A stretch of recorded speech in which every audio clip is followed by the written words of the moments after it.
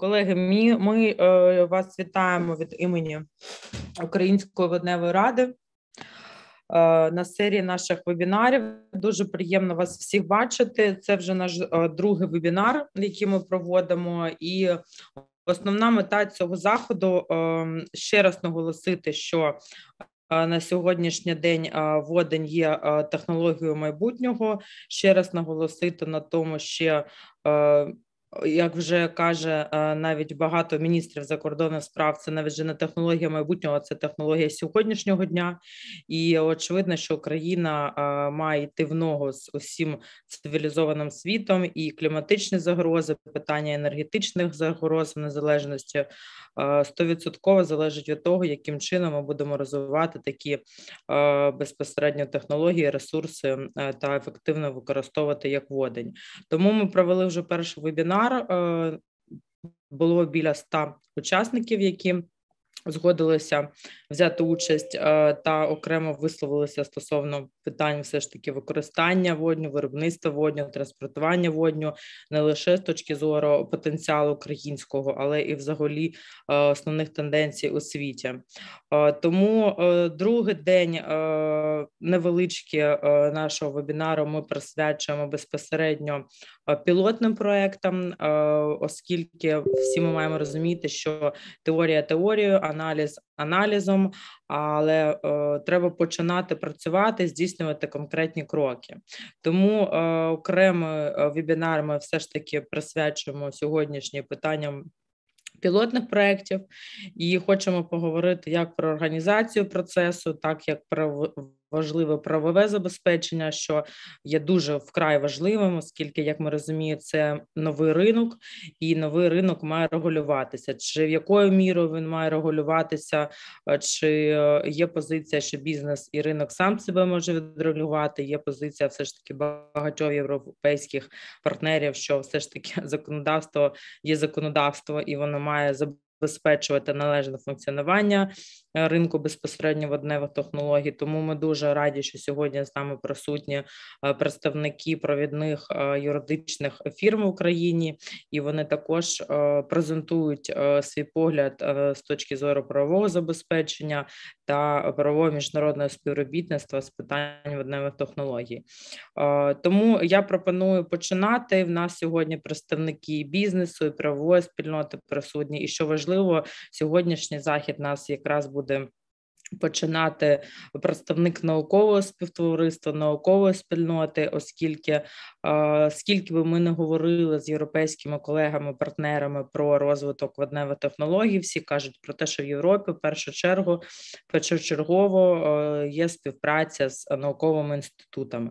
Тому ми дуже раді вітати нашого першого учасника, нашого першого спікера. Я пропоную також, може, ви більше трошки розкажете про свій бекграунд, чому ви цим питанням займаєтеся, і яким чином ви бачите перспективу все ж таки в розвитку одневих технологій. Дуже дуже дякую. Надаю слово нашому першому доповідачу. Доброго дня. Сейчас я постараюсь розширити екран, презентацію. Якщо потрібно, то це є. Так, Юрій, все видно. Угу. Добре, да? Я зовут Юрій. Я являюсь старшим науковым співробітником Института відновленої енергетики. Э, занимаюсь экономикой, э, водородной экономикой. Я буду, с вашего позволения, на русском языке разговаривать, говорить, презентацию делать, так как э, у меня так немножко плексы. Занимаюсь экономикой, занимаюсь возобновляемой энергетикой, экономикой, занимаюсь водородной экономикой. Ну, во-первых, я хочу поблагодарить всех э, организаторов, э, участников данного ивента. Э, и уверен, что наша сегодняшняя дискуссия притворит новые возможности на пути к переходу к водородной экономике. Что там?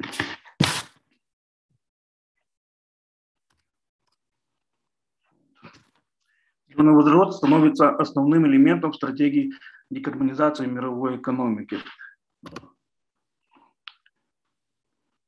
Определим кратко роль водорода в переходе к новой энергетической модели. Первое. Водород позволяет провести масштабно-эффективную интеграцию источников возобновляемой энергетики. Второе – распределение энергии между различными отраслями экономики и по регионам. Действует как буферный элемент для повышения стабильности работы системы, декарбонизация транспорта, декарбонизация промышленного энергообеспечения, сырье для производства углеводородов из э, собранного углекислого газа, декарбонизация домов и сооружений. При всем этом водород сегодня применяется в ряде отраслей – металлургической, перерабатывающей, химической,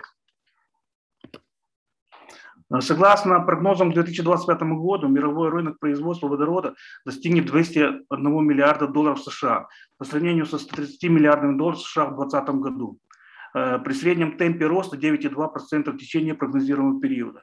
Растущее применение э, производства энергии на топливных элементов стимулирует рост рынка. Объем мирового рынка зеленого водорода оценивается 0,3 миллиарда долларов, оценивался в 2020 году. И по прогнозам в 2026 году достигнет 9,8 миллиардов долларов. С 2021 по 2028 года будет расти со среднегодовым темпом роста 54,7% в год представляет интерес э, прогнозные показатели производства водорода с учетом регионов. На слайде это можно хорошо увидеть, кто будет производить. Такие прогнозные результаты есть. Сейчас, Сегодня существует ряд технологий получения водорода, которые условно можно разделить на грязные, серые, чистые и чистые зеленые. Э, в таблице приведены технико-экономические показатели различных э, процессов производства водорода. К серым относится производство водорода с использованием ископаемого сырья, паровой метановый реформер, газификация угля, авто, автотермический реформинг э, с улавливанием СО2 и без улавливания. Э, Зеленые технологии это, – это использование возобновляемых источников и воды, например, биологическое расщепление воды, ферментация, э, конверсия биомассы и отходов, фотоэлектрохимическое расщепление воды, электролиз за счет энергии возобновляемых источников и так далее. Производство водорода должно обеспечить экологическую устойчивость, чтобы не приводить к проблемам, которые связаны с традиционными ископаемыми видами топлива.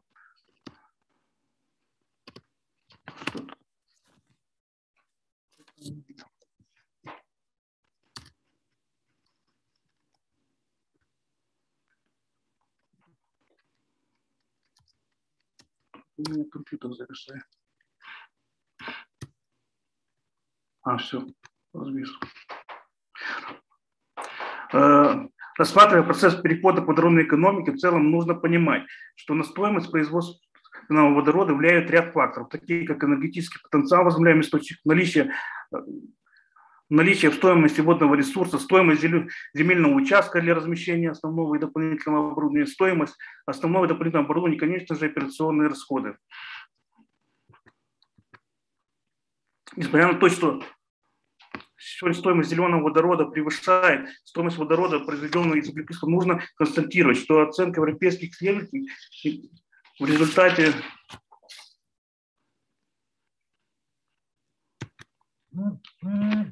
обучаемости, затрат на производство электроэнергии, возобновляемых источников, возобновляемых источников с производством электроэнергии водорода придет к тому, что зеленый водород станет конкурентоспособным, низкоуглеродным водородом до 2025 года. В 2005 году, по прогнозам, станет способным с по сравнению с серым водородом 1,5-2 евро килограмм с учетом цены на выбросы СО2 50 евро за тонну. А в 2030 году водород э, сможет стать конкурентоспособным по сравнению с серым водородом без СО2, то есть 1-1,5 евро по прогнозам.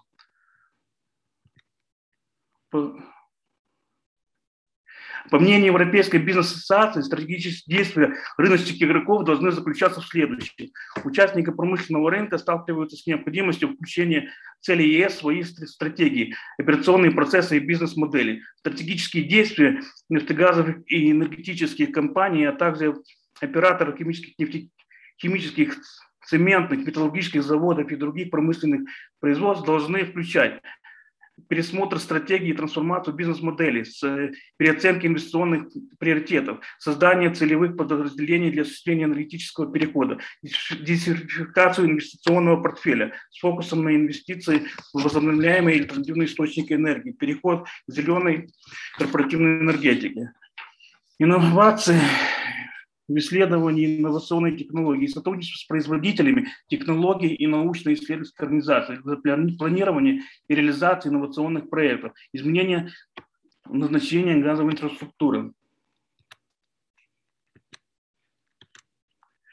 Со многими вышеперечисленными можно согласиться, но по нашему мнению нужно учитывать ряд факторов. Во-первых, на сегодняшний день пока не существует рыночных игроков зеленого водорода в прямом смысле этого термина, так как рынка пока нет как такового, а есть стейкхолдеры, стратегические действия которых должны учитывать внешние и внутренние инвестиционные нормы и правила, которые, в свою очередь, напрямую зависят от ряда факторов – политических, экономических, технологических, э, природно-климатических, социальных. Во-вторых, если мы говорим о создании украинского рынка зеленого водорода, то должны четко понимать, что развитие его должно проходить одновременно по двум направлениям, а именно по экспортному пути производства и продажи водорода в ЕС, к примеру, в Германию, и по пути создания внутреннего производства зеленого водорода и стимулирования внутреннего потребления с учетом отраслевых особенностей. Мне бы хотелось это еще раз подчеркнуть. Развитие водородной экономики должно строиться на принципах 50 на 50, экспорта внутреннего развития. Такой подход позволит экономике Украины пройти по пути э, декарбонизации и инновационного развития, а не стать сырьевым придатком. Э, на сегодняшний день существует более 200 водородных проектов в разных отраслях экономики, транспорте, металлургии э, и так далее. На карте проведено ряд некоторых проектов, да, требует подчеркнуть, что их количество, можно сказать, каждый месяц на карте увеличивается и растет. Рассмотрим некоторые из них. Первый в мире автомобильный водородный автомобиль получил э, автономный, э, водородный, для разрешения на движение по дорогам Эстонии с июля. Эстонские производители автономных транспортных средств АО «ТЭЧ» и Тартусский университет разработали автомобиль, который прошел испытание Департамента шоссейных дорог Эстонии. И с 5 июня будет разрешено движение по дорогам общего пользования. Автобус «Шапл» вмещает 6 пассажиров. Он работает с помощью низкотемпературных водородных топливных элементов, разработанных Тартусском университете. Шаттл является самоуправляемым, но им можно управлять дистанционно из удаленного центра управления.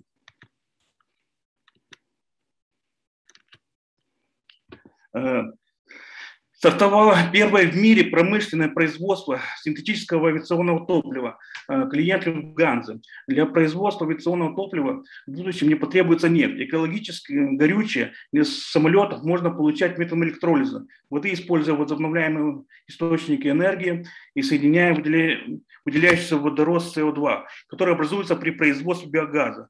Э, перспективность такой технологии призвана доказать доказывает первая в мире установка по выпуску синтетического авиационного керосина в промышленном масштабе. Ее официальное открытие состоялось 4 октября в городе Вельта на северо-западе Германии.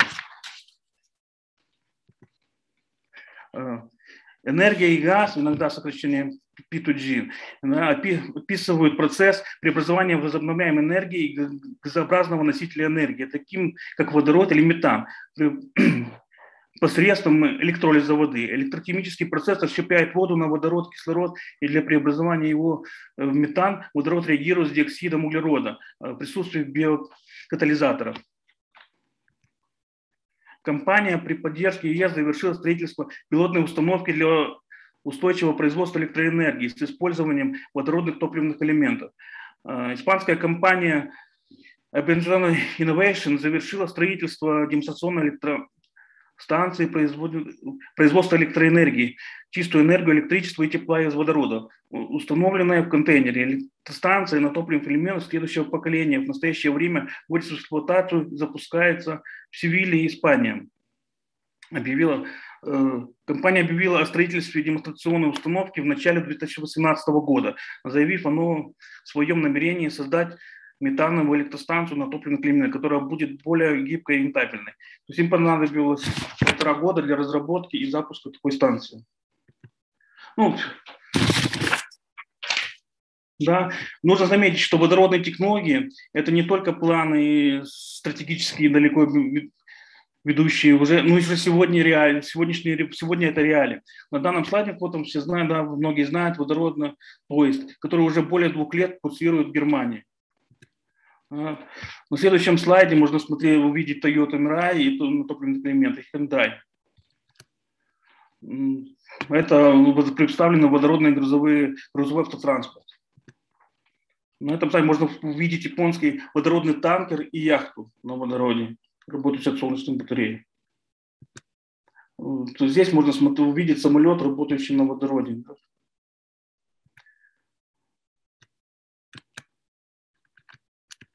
В следующем шаге некоторые представлены заходы. Я не буду их зачитывать. Э, это не имеет как бы... Можно так с ними ознакомиться, что долго будет. Можно сказать, что э, Южная Корея двигается очень быстрыми темпами, а есть серьезные проекты уже действующие, а амбиционные цели да, по переходу транспорта на водород, что гражданского, что автотранспорта, что автобусов, просто поражает своими амбициями. И я думаю, они этого достигнут.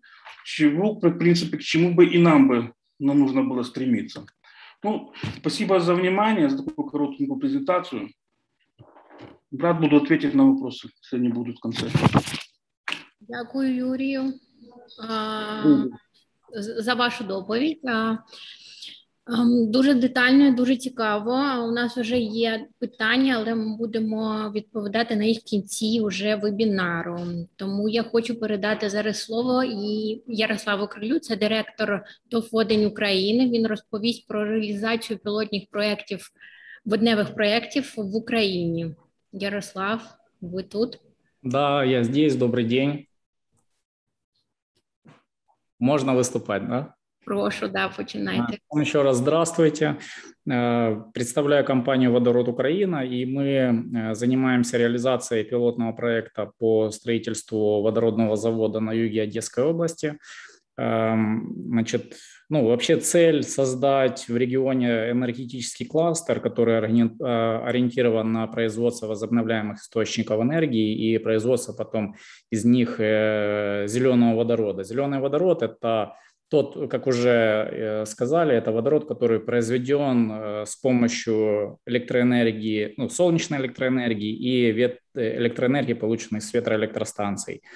Почему мы выбрали именно Одесский регион? Потому что э, он обладает там несколькими факторами. Это высокий потенциал энергии солнца и ветра, это доступные ресурсы воды, и это высокие конкурентные преимущества логистические и развитая э, транспортная инфраструктура. Если там остановиться на каждом из этих э, элементов, то если мы рассматриваем солнечную электроэнергию, то э, Оде, э, э, юг Одесской области, он располагает самым высоким потенциалом солнечной радиации э, среди всех постсоветских стран. И э, где-то около 1600 э, киловатт на метр квадратный э, составляет солнечная радиация. Ежегодно бывает 310-320 солнечных дней. И это, ну, сегодня это заслуженно самый солнечный регион в Украине. А, ветровой потенциал этого региона э, колеблется от полутора до 4 гигаватт, и поэтому ветроэлектростанции можно строить как и на суше, так и офшорные. А, касательно э, э, ресурсов пресной воды, я здесь остановлюсь более подробно, потому что мы провели очень такое фундаментальное исследование совместно с Институтом геологических наук НАН Украины а, мы исследовали и возможность использования воды из реки Дунай, воз, э, рассмотрели взаимосвязь реки с придунайскими озерами, изучили все групповые водозаборы, э, подземные водо, групповые водозаборы э, городов придунайских, это Ирани, Измаил. Вот. И мы можем сделать вывод, что если мы, будем, если мы построим если построить э, электростанцию до 3 гигаватт, спрогнозировали так, что, сколько такое 3 гигаватта? Да? Есть, к примеру, в Запорожской области атомная электростанция, самая большая в Европе, ее мощность 6 э, гигаватт. То есть, э, если построить половину вот, от мощностей самой крупной электростанции атомной на Дунае, то водопотребление будет составлять 36 десятитысячных процента от среднегодовых потерь воды реки Дунай. То есть это есть, мы этим исследованием показали, что есть большой потенциал, водный потенциал реки Дунай. И даже если построить вот 3 гигаватта электролиза, то не, будь, э, не будет никакого вреда ни э, навколишньому середовищу, не будет, никак это не отразится на обезвоживании реки Дунай э, и Придунайских озер, и более того, никак это не отразится на групповых водозаборах населенных пунктов Рени, Измаил и населенных пунктов, которые там рядом э, с ними находятся и идут вниз по течению Дуная. Эм, что касательно э, конкурентоспособных логистических маршрутов, я хочу сказать, что вот мы рассматриваем э, возможность транспортировки водорода в контейнерах э, вверх по Дунаю в страны Евросоюза.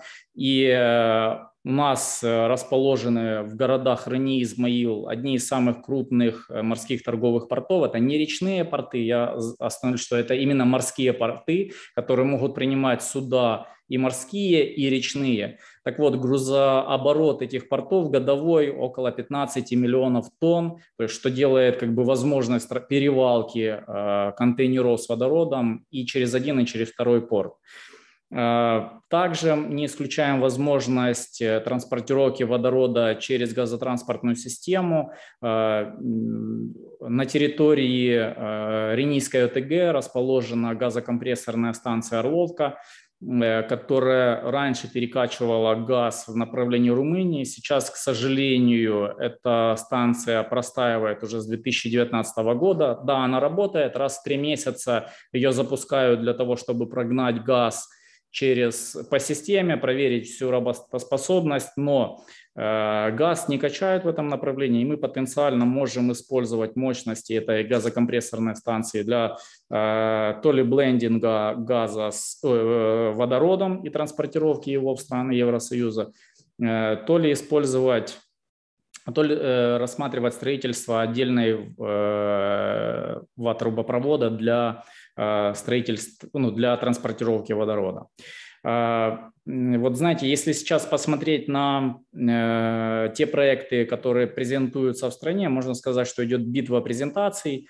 Э, мы немножко пошли по другому пути, мы не, не показываем свою презентацию, мы сейчас находимся на стадии технико-экономического обоснования. На этой стадии мы э, рассчитываем э, концепцию будущего завода, э, его электролизную мощность, а, в какой э, пропорции нужно строить объекты возобновляемых источников энергии, то есть сколько нужно построить солнца, сколько нужно построить ветра, э, в какой процентном соотношении и какая будет э, стоимость одного килограмма водорода и сколько будет электролиз работать от э, сколько часов. Потому что, знаете, я иногда вижу презентации там, где показано, что электролизер будет работать 24 на 7, 365. Ну, солнце как бы ночью не светит, да и ветер не всегда дует. То есть как, бы, как можно добиться э, такой работы, не знаю. То есть ну, мы сейчас просчитываем и уже, в принципе, понимаем, сколько мы можем обеспечить операционных часов работы электролизера, на какую примерно э, стоимость килограмма водорода выходим и какой объем продукции мы можем э, произвести на протяжении года. Сейчас мы, в принципе, находимся уже на завершальной стадии. Я думаю, в ближайшее время мы сможем уже презентовать наши результаты и двигаться дальше. Ну, э, в целом э, э, по проекту, я думаю, что ну, по, по спичу моему все. Я думаю, более, более продуктивно, если мы в финальной серии, сессии по, с вопросами, я поотвечаю на, на эти вопросы. Дякую, Ярославе, за цікавий, цікаву презентацію. Будемо чекати на реалізацію проєкту. Але я хотіла запита... задати вам одне питання. У нас тут є одне скільки часу потрібно на реалізацію проєкту або заводу для виробництва зеленого водню? Смотрите, для того, чтобы вот, э, технико-экономическое обоснование у нас заняло 4 месяца. До этого мы делали 4 месяца исследования вместе с Институтом геологических наук по водным ресурсам. Впереди у нас после завершения ТЭО это разработка проектной документации стадия, стадия П займет от 6 до 8 месяцев. И по предварительным оценкам строительство завода может занять от 18 до 24 месяцев. Дякую за відповідь. Зараз ми поговоримо і послухаємо нашого наступного спікера Максима Сесоєва, партнера Київського офісу Дентанс. Він розповість тему правові аспекти реалізації водневих проєктів в Україні. Максим тут. Доброго дня. Як мене чути? Чудово чутно. Чудово. Вибачте, тут перенесли е, мій виступ з іншої дати, тому я зараз е, з іншого заходу вищаю. Але в принципі я готовий зараз. Я стану, щоб мене нормально було чути. Е, дякую за запрошення. Я зараз е, розширю презентацію. Ви скажете, чи її нормально видно. Підкажіть, видно? Зараз вже видно, так. Окей. Отже, дуже цікава доповідь була попереднього спікера щодо технічних аспектів так реалізації. Я хотів е, поговорити про деякі вже юридичні аспекти, з чим девелопери і інвестори можуть стикнутися під час реалізації водневих проєктів. Я свою презентацію базую на досвіді моїх колег в Європі, зокрема в Великобританії, в Німеччині, а також мого власного досвіду під час обговорення з інвесторами в різних областях щодо реалізації проекту. Ну на цьому слайді ви можете побачити е, основні е, тези мого виступу і про що я хочу поговорити. Е, давайте почнемо з того, як можна використовувати виробля і продавати вироблений води. Бо від цього ми вже відштовхуємося, як ми можемо і що можемо робити. Перше, що зазначав там, зокрема, попередній спікер, перша опція це прямий продаж промисловим споживачам. Це може бути хімічні, скаливарні, цементні заводи, які знаходяться поблизу, і може бути транспортування через е, прямий водний провід, умовно кажучи, називаємо я так, перевезення потягами, суднами чи іншим транспортом. А все в принципі непогано, і в цілому це можливо реалізувати навіть зараз. Е, і за чинним законодавством за умови дотримання всіх умов е, безпеки транспортування відповідним транспортом. Але е, ми стикнулися з такою проблемою, коли почали розраховувати економіку і вартість логістики. Ну, дійсно, це проблема, оскільки вартість транспортування траками, машинами е, чи потягами просто може бути космічною. Ми намагалися з оператором газотранспортної системи проговорити можливість е, закачувати газ в систему, і це е, майбу... наступний варіант для продажу. Це продаж е, через газопроводи е, шляхом змішування воднього з природним газом. І ця опція поступово, як я спілкувався з колегами, стає можливою в Європі в Україні. Технічно це виконати неможливо. Мені сказали, і технічні вимоги щодо приєднання до газопроводів неможливо отримати. Якщо в нас буде відповідний регламент, змінений по природному газу, що можна буде домішки робити, зміни до кодексів газотранспортної системи, розподільної системи, ну, юридично і технічно це буде можливо. Наразі це буде проблематично. Тому перший варіант це прямий е, е, продаж е, цього водню, який поблизу знаходиться, бачається можливим але це лише транспортування, і треба враховувати вартість логістики. Як я розумію, вона досить дорога. Газопроводами, ну на мій погляд, юридично це неможливо, і технічно також будуть е, проблеми і необхідні відповідні зміни. Як правильно е, зазначив попередній спікер, е, частина важлива проекту це генерація електроенергії з відновлювальних джерел. Що ми розглядаємо зелені проекти поводню, і це фактично Наразі це ВЕС е, і СЕС е, потенційно. Ну, на цьому слайді я намагався короткі аспекти звернути увагу на те, що треба для девелопменту такого проекту і реалізації. Ну, звичайно, треба оформлювати права на землю. Ну, на, наразі можна використовувати землі, як ви бачите, промисловості, транспорту, зв'язку енергетики та іншого призначення, оскільки це виробництво електроенергії з відновлюваних джерел. Тобто тут можна трошки погратися з призначенням, але це не сільгосп земля, земля має бути. А треба буде здійснити оцінку на довкілля. Скоріш за все, ну треба дивитися по ситуації. Все, мабуть, можливо, іноді не треба буде. Але щодо ВЕС, е, майже завжди треба буде цю оцінку робити і здійснити стратегічну екологічну оцінку. Треба буде пройти також через е, всю містобудівну документацію, що включає в себе розробку детального плану території і дозволів на будівництво і документів щодо введення в експлуатацію відповідне генеруючого обладнання. А також потрібні будуть договори на приєднання до електричних мереж та інших інженерних мереж. Ну, ми спілкувалися. Я думав, що такий проект можна реалізувати взагалі без приєднання до мереж, але так виявилось все одно. Якісь е, приєднання має бути. Звичайно, ми тут не кажемо про мегавати приєднання. Потужність менше, але все одно треба розраховувати локацію проекту поблизу якихось інженерних інфраструктур. Ну і інші документи в залежності від особливостей проекту, а там їх може купа, це треба кожен проект окремо дивитися.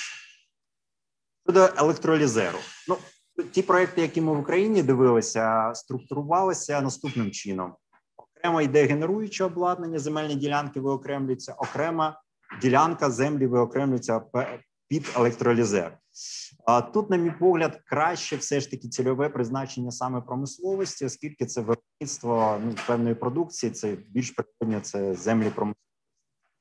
Оцінка впливу на навколишнє середовище, ну, скоріш за все, буде потрібно, але знову ж таки, там треба аналізувати розміри, вплив, то, що можливо і не потрібно буде. Ну і звичайно, стратегічна екологічна оцінка. Аналогічно до ВЕС і СЕС треба буде працювати з містобудівною документацією, вона аналогічна. А договір на приєднання до електромереж для використання електролізеру також, скоріш за все, буде потрібен. Ну, інші мережі там треба дивитися до там води, газу, можливо, буде потреба. Чому відрізнятися буде точно від СЕС? Однозначно, я бачу за чинним законодавством буде треба для функціонування електролізера отримати дозвіл на виконання робіт підвищеної небезпеки експлуатацію а, устаткування підвищеної небезпеки, оскільки водень є небезпечним газом, і відповідно там і сертифікація потрібна, і ці дозволи для його використання. Щодо води, оскільки досить високе буде е, велика кількість користування водою. Тут у нас з'являється необхідність, е, якщо це з надр видобувається вода, а чи навіть забір е, йде від води з водою, це дозвіл на спеціальне водокористування. А якщо з надр перевищується 300 кубів на метр на день, кубічних метрів на день, то треба буде ще отримати дозвіл на користування надрами гірничний відвід отримати. Ну і можуть бути інші документи. Знову ж таки, специфіка проекту треба дивитися. Для продажу водню. Також ми стикнулися з е, цікавим питанням: Окей, ви е, ви виробили цей водень, виробили його е, з якоїсь відновленої джерела енергії, але треба довести, що це саме зелений водень. Ну, за практикою, зараз бачу, основний буде зокрема на початку. Тренд це верифікація окремими там сертифікованими і тим, яким довіряє аудиторами. Це TÜV, мовно кажучи, бюро Veritas. Ну, наприклад, така механізм, такий механізм діє зараз для біометану. Тобто, це точно він напрацьований. Коли вони верифікують, я бачу погодні аналогічно з'являється в Європі. Або може створюватися централізований державний реєстр, який буде фіксувати об'єми зеленого водню, і будуть створюватися сертифікати походження, і будуть використовувати ці сертифікати походження для трейдингу. Це інша опція. Ну а щоб оформити саме продаж водню, тут звичайно це договір на постачання водню потрібен споживачу або трейдеру, який буде перепродавати перепродавати. Договір на транспортування водню до контрагента, в залежності від типу транспорту, який буде використовуватися, і якщо газопроводи, ну тут треба буде комплаєнс з вимогами законодавства про ринок газу, скоріш за все. Наразі комплаєнс неможливий, оскільки водню там немає. Біогаз, біометан є, водню поки що він не врахований. Це все, що я хотів розповісти. Якщо є якісь питання по моїй презентації чи по юридичним аспектам реалізації проєктів, я радий відповісти зараз або окремо, якщо можете звертатися до мене, буду радий. Дякую, Максиме, за чудову доповідь. Все дуже детально і ясно. У нас тут питання є від нашого спікера Ярослава. Ярослав. Ага, він озвучити його хоче, так? Так, я я можу озвучити. Скажіть, будь ласка, ось ми, як коли розглядали можливість транспортування водню е, річним транспортом, е, є е, такий документ, який називається Будапештські угоди. Так, от у цьому нормативному документі, на жаль, відсутнє будь-яке там згадування про водень. І більш того, вказано, що заборонено транспортувати вибухонебезпечні речовини річкою Дунай, і необхідно, от щоб Е, водень був включений до цих дунайських до цих Будапештських угод. Чи е, там ви вивчали це питання, чи не вивчали? Яка процедура цього питання? Наскільки буде важко це зробити, е, враховуючи той фактор, що вже більше двох років не не відбувалися збори цих Будапештських компаній, які займаються перевалкою грузів через Дунай? Е, що ви скажете е, ось на це? Ну е, дивіться, мене клієнти розглядали можливість транспортування річкою Дунай, але тут виникли питання на більш ранішньому етапі. Ми не, не дійшли питання до того, яким чином саме внести зміни і врегулювати питання перевезення водню по Дунаї. Тобто, я думаю, це якщо клієнт вже знайде адекватний проект, який він бачив в Україні. Він зараз е, здійснює певний там due diligence цих проєктів, е, е, технічний і девелопмент. Ми до цього питання повернемося і будемо ініціювати. Але на наразі прямо мені клієнти так не підіймали це питання, щоб ми більш детально дивилися. Але я його прогляну, і ми можемо окремо з вами поспілкуватися. Так, Дякую. Це ну крім цього, треба буде ще проводити. Ви там пару слів сказали про сертифікацію, але ж треба буде, якщо транспортувати груз е, рікою, то на кожен е, груз необхідно е, такий документ, як Safety Data Sheet, Тобто роз, треба розробити цю нормативну документацію так. стосовно перевалки у портах. Е, треба розробити робочі технологічні карти для того, щоб е, порти могли виконувати перевалку цих грузів. Тобто, я ну тут роботи ще дуже багато, незважаючи там на саме виробництво.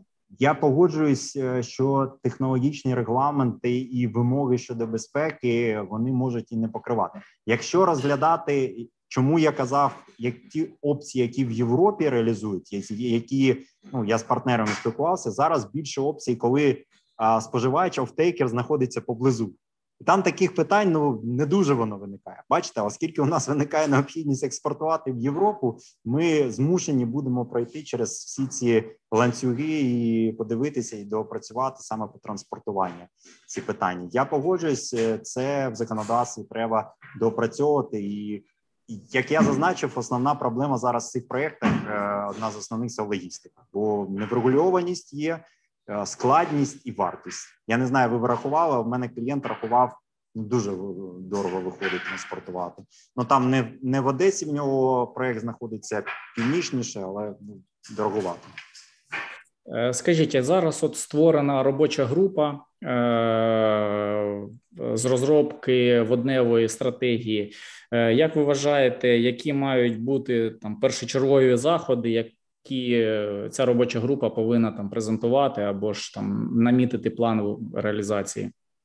Ну, дивіться, е, має бути пророблена роудмеп. Ну я до речі, ми брали там з колегами участь в тендері там USAID для проробки пророблення цієї карти стратегії, да, high level. Зараз тендер, я так розумію, світовий банк е, анонсував. Я також подався на нього там з колегами. Ми подалися з німецької компанії, яка в чотирьох землях готувала цю стратегію. Тобто, стратегія це має сісти технічні фахівці, юристи, фахівці енергетики, і ми маємо з усіх сторон продивитися, що в нас є, які кроки треба зробити з технічної точки зору, там економічної, енергетичної, юридичної, щоб це запрацювало. А всі наразі мають якісь е, ну неповну картину. Тобто ніхто не пройшов цей певний проект, перший шлях, і тому я вважаю, перше це roadmap. Ми наразі реалізуємо проект для ЄБРР фізибіліті стадії по біометану. Десь в чимось е, схоже е, система, оскільки тут теж проблема з транспортуванням виникають, але там простіше в газотранспортну систему закачати. Ну також проходимо перший проект, який буде коли ми вже пройдемо, тоді більш зрозуміло буде, як все стикується, які проблеми виникають під час його реалізації. Аналогічно з воднім треба сісти, щоб фізибіліті стадії повноцінно зробили. Ну я вважаю, донори можуть це профінансувати, і відповідно до цього зробити стратегію, що за чим має бути зроблено, які зміни, регламенти прийняті тощо. Ну це на мій погляд. Але перш за все, треба питання з логістикою вирішити, яким чином можна логістично його транспортувати. Ну, на мій погляд, там тут більше цього питання не Так, дякую. Дякую, Максим. Дякую вам, Ярослав, за питання. Дякую, Ярослав, за таку цікаву дискусію зараз. Так, і... Дякую. Хочу передати слово і тему доповіді. У нас сьогодні веде Марина Гріцишина, керівник практики енергетики юридичної фірми Саєнка та Харенка. Тема її правове регулювання виробництва водню в Німеччині та в Україні як передумова для енергетичного партнерства. Марино, вітаю. Сейчас презентация.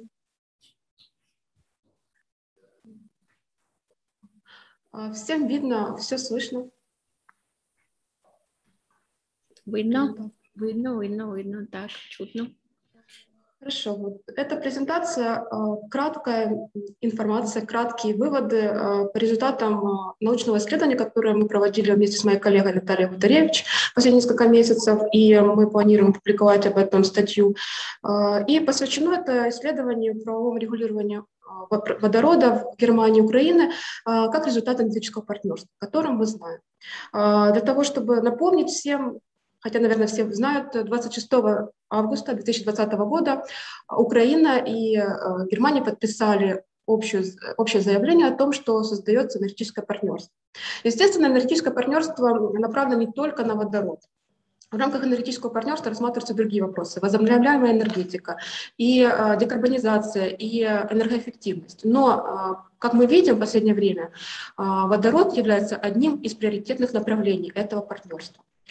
А, какие а, предусловия этого а, партнерства связаны с водородом? Прежде всего, когда мы обсуждаем тему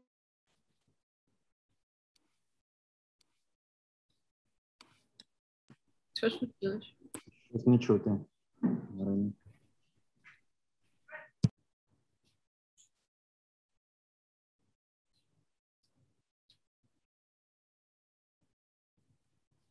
Ой, у нас тут технічний трошки збій пройшов. Зараз ми його встановимо. А, а можете знову запустити, будь ласка, презентацію по новій? Дякую. Вибачаємось.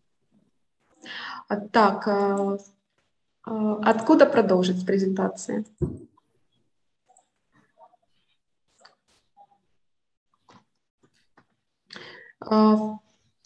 Продолжаем, да? Так, дякую. В общем, предусловием для энергетического партнерства части водорода является прежде всего большой потенциал возобновляемых источников энергии в Украине. Это порядка 874 гигаватт зеленой энергии, которую можно производить.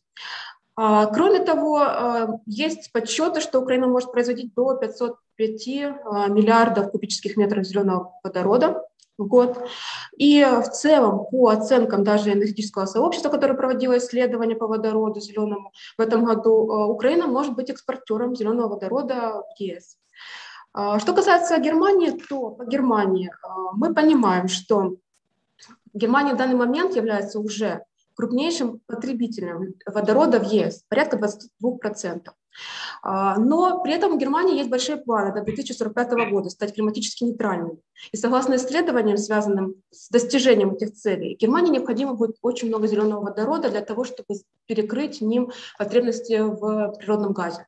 А, и по результатам исследований показывают, что, получается, Германия может производить только 36% от всей потребности зеленого водорода а, страны. Поэтому в данном случае Германия рассматривает Украину, также другие страны, как потенциальных импортеров зеленого водорода в экспортеров зеленого водорода на будущий период. Но э, рассматривая энергетическое партнерство, важно понимать, какие существуют барьеры для того, чтобы реализовать э, данные планы. Э, в рамках Украино-немецкого энергетического партнерства был создан секретариат, и в этом году они презентовали исследования относительно опроса немецких компаний. Какие они видят, видят проблемы, связанные с реализациями проектов совместных с украинскими компаниями? А, и вот э, немецкие компании, они э, видят проблему более глобально. Они считают, что нет определенности относительно финансирования проектов, э, логистика, то есть транспортировка водорода, Конечно же, покупатели зеленого водорода непонятно. Но и, конечно, главным вопросом остается для них правовое регулирование, потому что необходимо понимать, какие правила существуют в Украине для зеленого водорода. Мы при э, написании статьи также решили провести исследование, э, но в рамках украинских компаний на базе Украинской электроэнергетической ассоциации. И э, вы можете увидеть, что э, украинские компании смотрят на этот процесс более э, стратегически, более с точки зрения развития зеленой генерации, потому что все понимают, что для того, чтобы произвести водород, нужно развивать возобновляемые источники энергии. Но все отмечают, что главным является все-таки наличие правовой базы, следующие пункты – это все, что связано с поддержкой зеленой генерации, либо возможности продавать по рыночной ценам, например, корпоративный PPA, а, либо поддержка через аукционы. А, конечно же, есть вопрос по техническим регламентам, отсутствие инфраструктуры. Таким образом, в целом и немецкие, и украинские компании сходятся во мнении, что правовое регулирование важно для развития водородных проектов в Украине.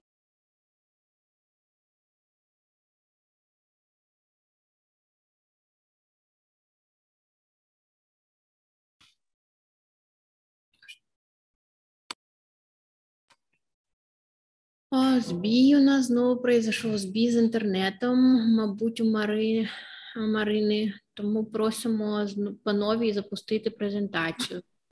Добре, да. так, у мене все. Вибачте, учасники.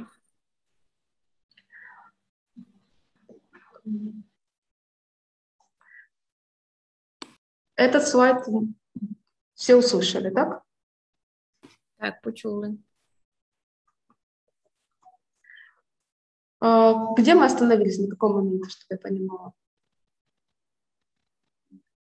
На цьому слайді ми зупинилися, тому продовжуйте. Так, так, хорошо. Значит, выводы следующие о том, что правовое регулирование важно. А, исходя из этого, я предлагаю посмотреть на то, как регулируются а, вопросы водорода в Германии, а потом перейти к Украине.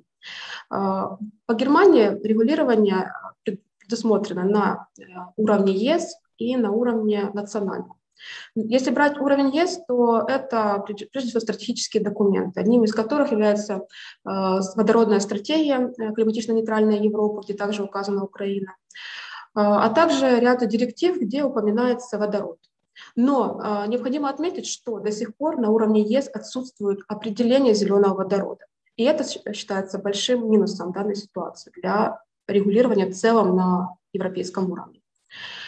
Что касается национального законодательства Германии, то э, Германия не обращает внимания на все проблемы на уровне ЕС и очень активно внедряет системы поддержки для развития водородных проектов. Э, во-первых, в прошлом году они утвердили национальную водородную стратегию.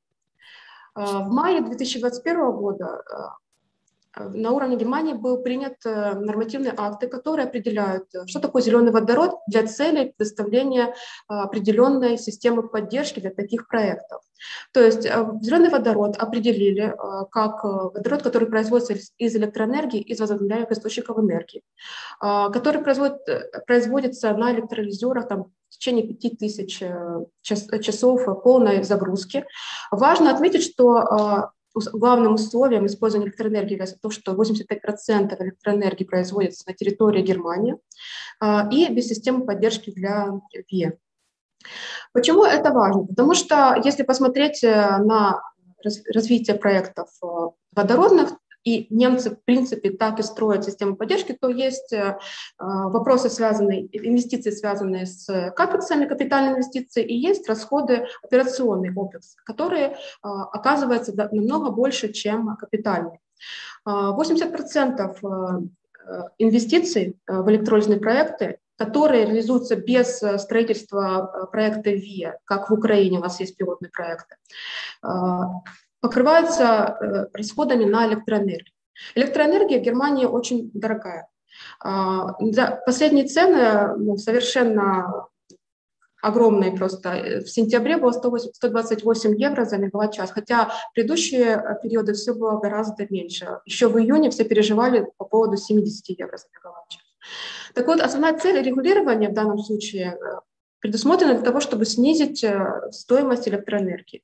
И э, согласно нормативному акту, который вступит в силу с 1 января 2022 года, э, проекты возобновляем зеленого водорода смогут покупать электроэнергию из ВИА без надбавки для зеленой генерации. Тем самым они смогут платить меньше за электроэнергию. То есть в этом аспекте есть определенное законодательство.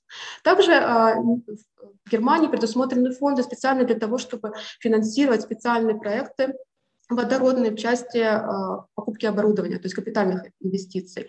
А, было избрано 62 проекта, под которые будет предоставляться финансирование. То есть это своего рода тоже поддержка капитальных инвестиций. Нужно сказать, что законодательство Германии не останавливается только на вопросах производства водорода, а, они также очень много уделяют внимания вопросам инфраструктуры. То есть у них строятся специальные э, сети для того, чтобы транспортировать водород. Либо используются предыдущие сети, которые э, уже не используются для природного газа. Э, важно то, что они понимают, что э, сети инфраструктуры должна регулироваться в рамках директивы по газовому рынку. Но директива сейчас находится на стадии обновления. Поэтому э, на переходной период, опять же, ничего не останавливает, и Германия регулирует этот вопрос, а, устанавливается законодательство для водородных сетей, которые транспортируют исключительно водород, не смешанный природный газ с водородом. А, специальное регулирование, то есть регулирование, по которому а, собственники, операторы газотранспортных сетей могут выбрать это регулирование, но не обязаны это делать. И по результатам этого регулирования они должны обязательно сделать амбандлинг, то есть э, выделить отдельно эти сети от сетей по природному газу. Но в рамках этого регулирования у них есть возможность э, получать специальный тариф и тем самым компенсировать их расходы, а возможно даже получать прибыль за счет использования передачи в использование э, данных э, газотранспортных сетей под водород. Кроме того, Германия обеспокоена тем, чтобы инвесторы смогли реализовать проекты специальные, о которых я говорила в предыдущем слайде. Именно поэтому было 22 э, сентября принято постановление относительно сборов э, за доступ к водородным сетям. А, и как обоснование для принятия этого постановления указывается, что это необходимо для того, чтобы инвесторы могли посчитать реальную стоимость проекта. А, что касается Украины, то, по сути, в Украине регулирования специально для водорода нет. А, то есть все, что мы а, анализируем, обсуждаем, это как бы возможность применения по аналогии каких-то нормативных актов, которые а, применяются к другим секторам энергетики. Но в Украине в настоящий момент только разрабатываются стратегии, это как основа, которая формирует дальнейшую разработку законодательства. Мы знаем, что есть решение РНБУ которая установила, что до конца года стратегия должна быть утверждена Кабинетом министров Украины. Но, тем не менее, а, как бы, есть также мнение экспертов, которые утверждают, что, скорее всего, только в следующем году будет она представлена. А, поэтому, когда она будет на самом деле утверждена, это большой вопрос. Но если смотреть в комплексе, то, э, например, Ирена разработала э, руководство по установлению э, правил или стратегий водородных в мире. И в этом руководстве есть определенный механизм, по которому страны приходят к стратегии. Так вот, согласно этому алгоритму, для того, чтобы разработать стратегию, страны должны, во-первых, провести исследование, то есть программу исследований, R&D, Research Program, иметь статистические документы, и а также дорожную карту. И после того, как они проходят все эти три этапа, они могут прийти к стратегии. вот мы попытались в рамках нашего исследования проанализировать, а есть ли у нас вот эти все три элемента для того, чтобы тоже разработать стратегию. Что касается программ исследовательских, то у нас они есть. Они у нас есть еще с э, февраля 2020 года. РГК проводит исследования на базе э, систем региональных, дистрибьюторских, но в рамках этих исследований только смешивается водород.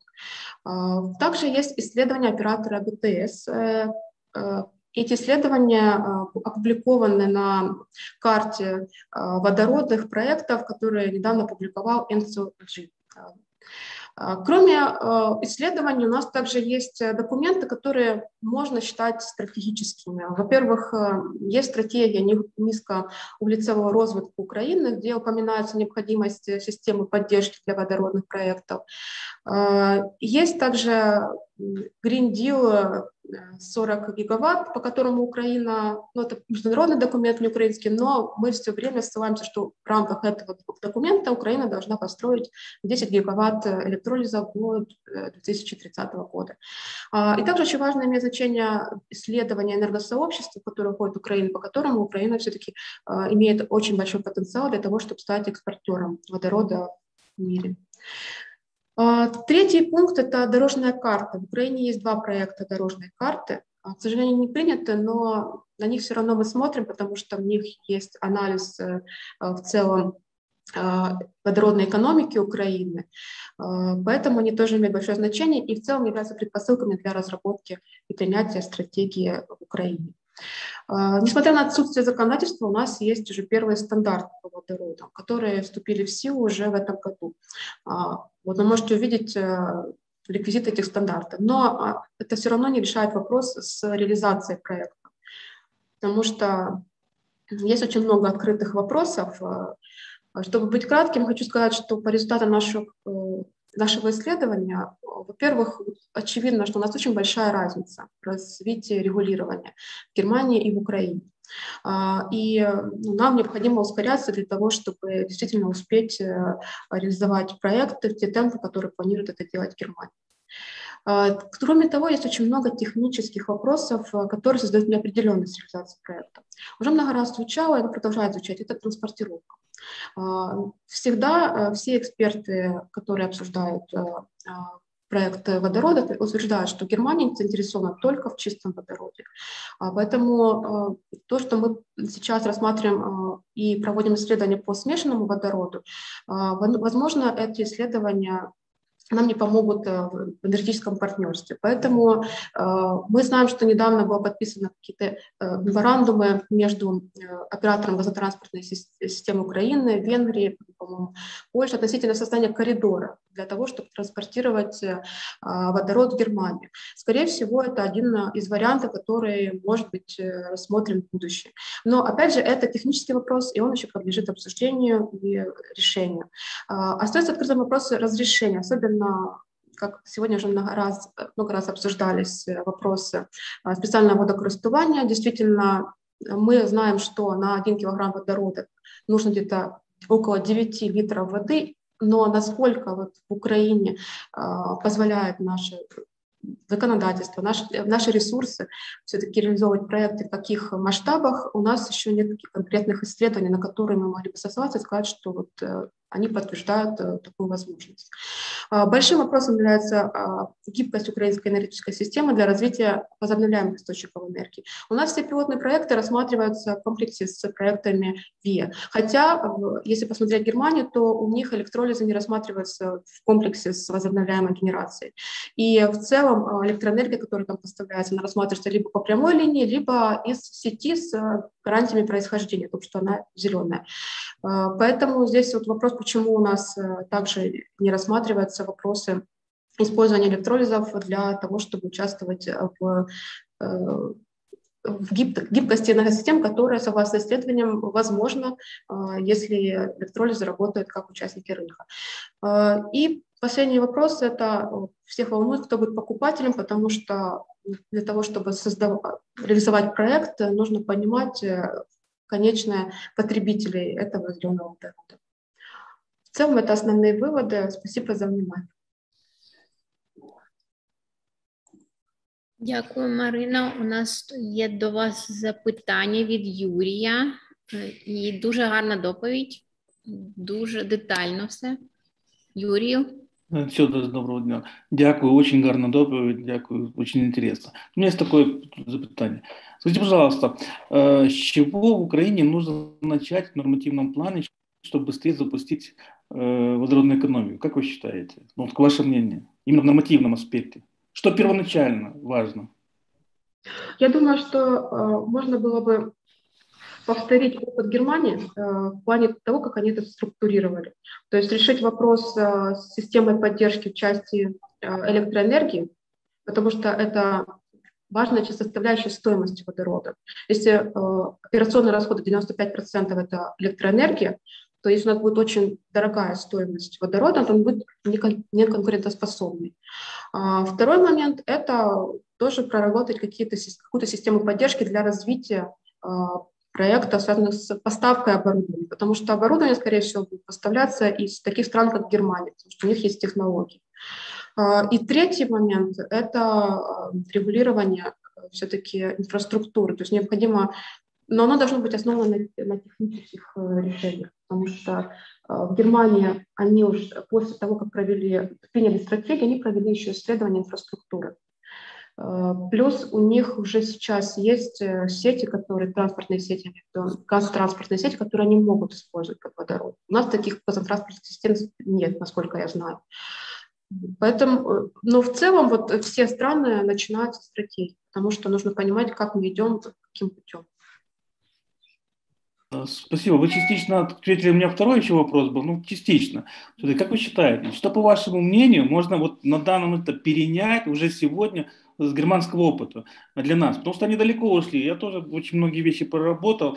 И как бы я бы однозначно не сказал, вот что для нас так актуально, что мы у них бы могли уже перенять и начать с чего работать. То есть может быть, как матрицу взять, скопировать где-то, для того, чтобы не делать ошибок. То есть лучше, наверное, делать ошибки чужие, учиться на чужих ошибках. И вот, может быть, есть какие-то советы в этом плане у вас? А, я единственное, что вот когда вчера готовилась к презентации, пришла к выводу, что э, Германия, они видят цель и не видят препятствий. Вот, mm Потому что в Европе нет определения зеленого водорода, но они его написали для того, чтобы реализовать проекты, для того, чтобы предоставить систему поддержки.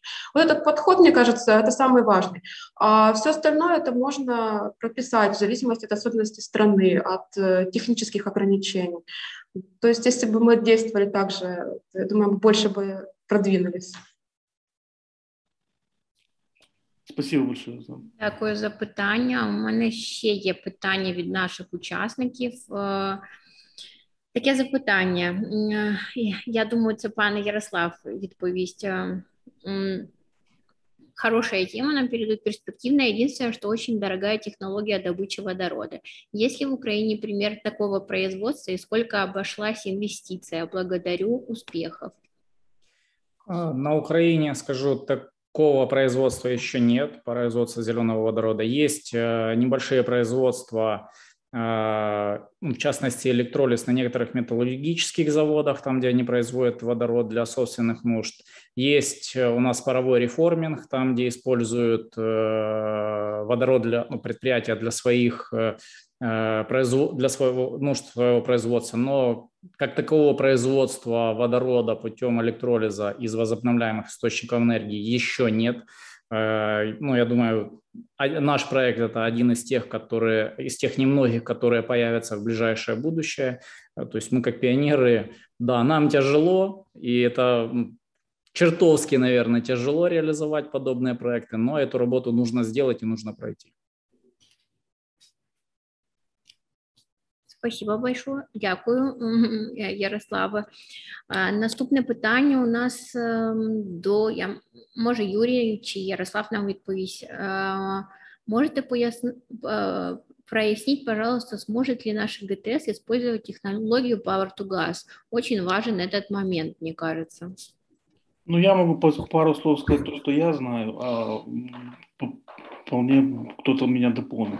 Что касается технологического вопроса, то для нашей газотранспортной системы, тех, технический эксперт, более э, проще э, и его применять, да, прокачивать, чем водород, будем честно говорить. Что касается юридической стороны, есть некоторые загвоздки, о чем, кстати, Максим говорил.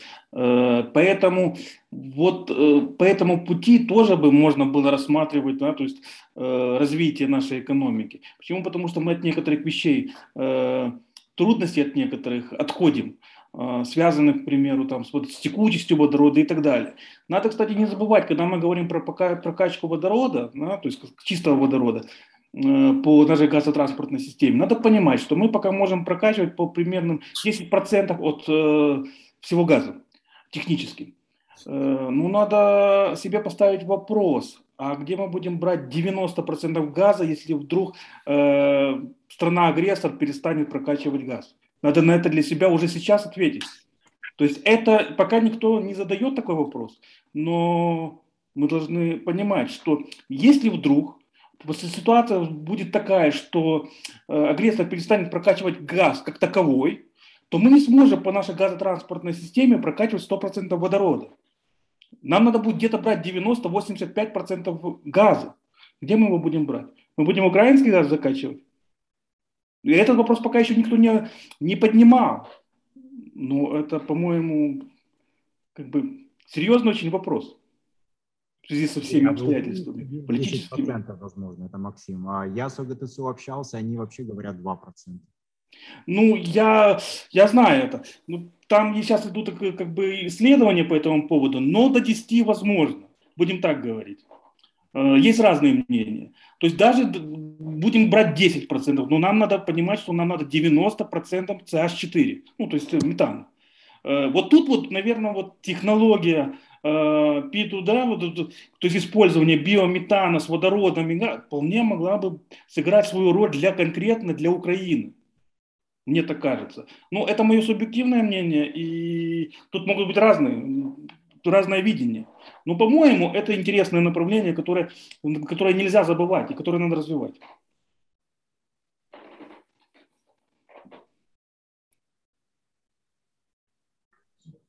Дуже вам дякую за відповіді. Ще одне питання у нас є стосовно 2024 року. Яка ситуація буде з нашою ГТС із контрактом з Газпромом, коли запуститься Північний поток потік 2 Хто може відповісти на це питання? Зможемо ми запустити? А я не слышно? Анастасия, можно я немножко еще дополню Юрия? Да, вот, дополняйте. Да, вот Юрий, э, вы сказали про большие объемы газа, которые нужно прокачать, да? А давайте подумаем теперь, какие объемы производ... произведенного водорода должны быть, чтобы его тоже блендить вместе с этим газом.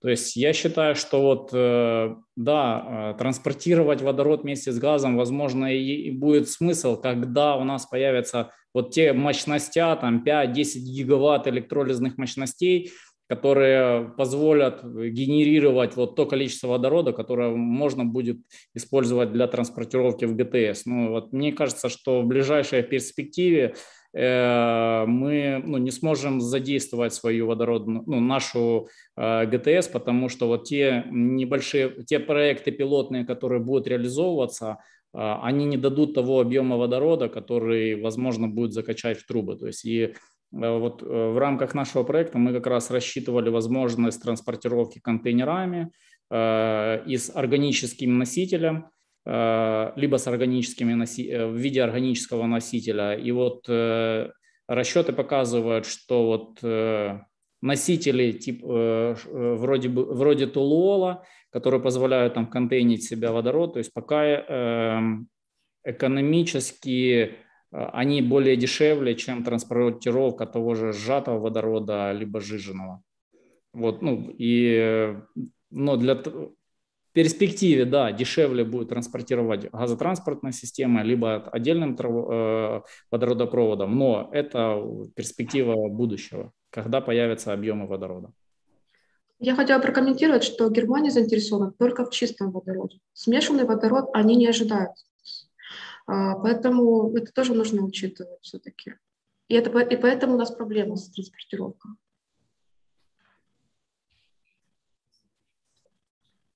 Добре, дякую за відповіді. А стосовно питання газ, Газпрому та нашого контракту до 2024 року і Північного потоку 2.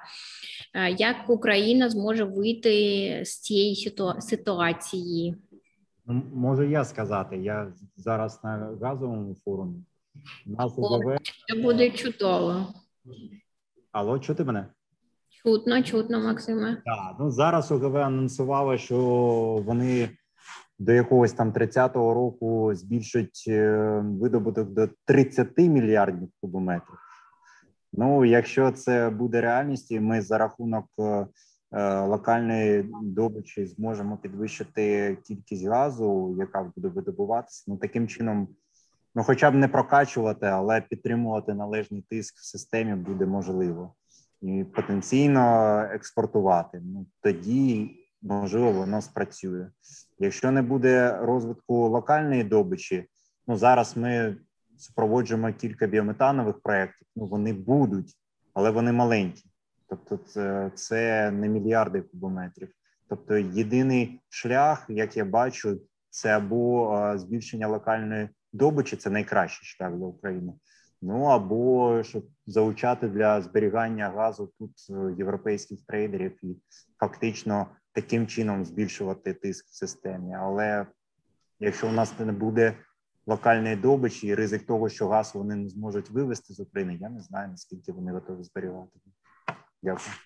Я хотела бы добавить, ну, не делая какие-то прогнозы все-таки по этому договору, что в целом какая тенденция идет э, в странах ЕС. Это зеленые угоды, Green Deal. И в рамках зеленого угоды э, газ – это э, транзитный такой механизм между углем и водородом. Поэтому у нас все равно будет потребность в природном газе выше у европейцев. Поэтому есть все-таки надежда, что все будет у нас в ближайшее время, пока не так все плохо.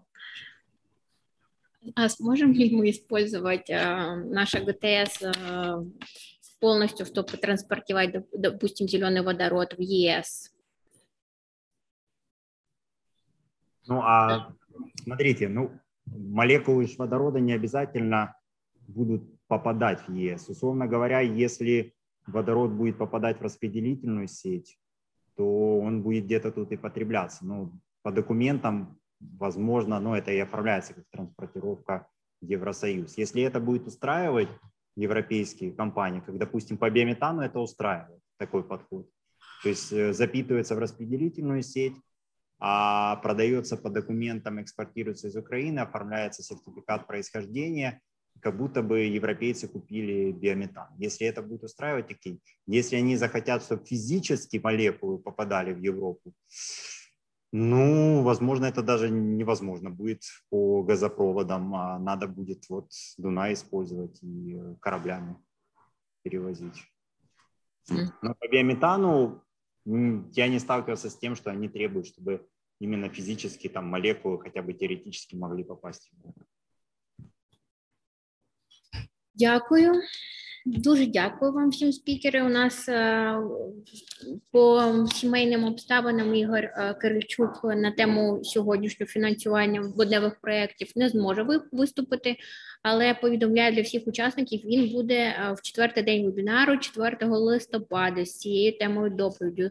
Тому ви зможете дізнатися всі механізми фінансування, де можна отримати гроші на водневі проекти, гранти і так далі.